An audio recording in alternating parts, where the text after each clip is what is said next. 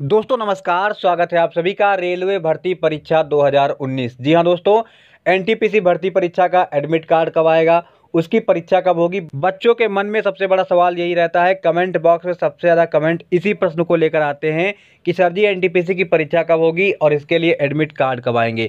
तो आज के इस वीडियो में आपके इस सवाल का जवाब हम लोग जानेंगे विस्तार से, लेकिन उससे पहले जो बच्चे घर बैठे ऑनलाइन इनकम करना चाहते हैं मोबाइल के माध्यम से, उनके लिए एक बड़ी खुशखबरी है। नीचे वीडियो के डिस्क्रिप्शन में और फ़र्स्ट कमेंट में आपको एक अप्लीकेशन का लिंक मिल जाएगा, जिसको डाउनलोड करके आप हज़ारों रुपए की अर्निंग रोज कर सकते हैं। और सबसे महत्वपूर्ण सूचना, नीचे आपको एक कूपन कोड दिया होगा।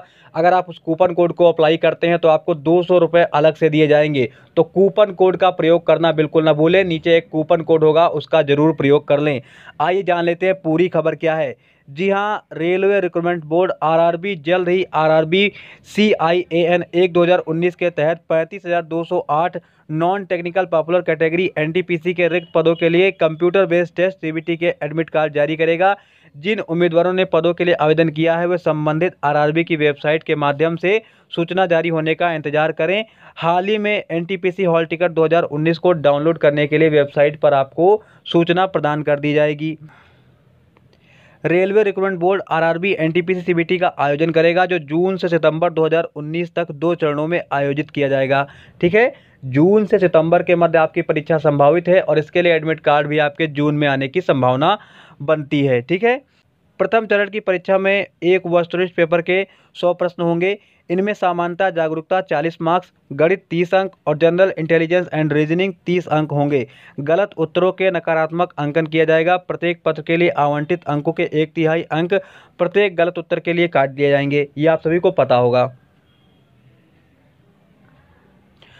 आरआरबी एनटीपीसी सीबीटी चरण एक परीक्षा में चयनित उम्मीदवारों को आरआरबी एनटीपीसी सीबीटी चरण दो परीक्षा के लिए बुलाया जाएगा। आधिकारिक सूचना के अनुसार आरआरबी पैरामेडिकल सीबीटी 2019 परीक्षा में चयनित उम्मीदवारों को स्किल टेस्ट, स्टेशन मास्टर और ट्रैफ़िक असिस्टेंट के लिए कंप्यूटर आधारित एप्टीट्यूड टेस्ट, जूनियर क्लर्क सर टाइपिस्ट के लिए typing skill test, junior time keeper, account clerk, typist, senior clerk cum typist, junior account assistant cum typist और सीनियर टाइम कीपर के लिए बुलाया जाएगा।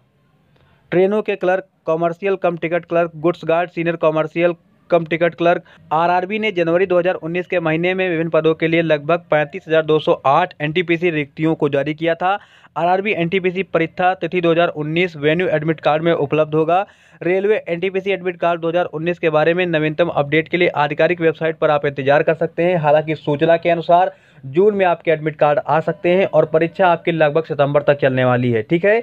जून में आपके एडमिट कार्ड आने की संभावना है। जून के अंतिम सप्ताह में आपका एडमिट कार्ड आने की संभावना बनती है और ये परीक्षा आपकी लगभग सितंबर तक चलेगी। तो आज की वीडियो में इतना ही। धन्यवाद।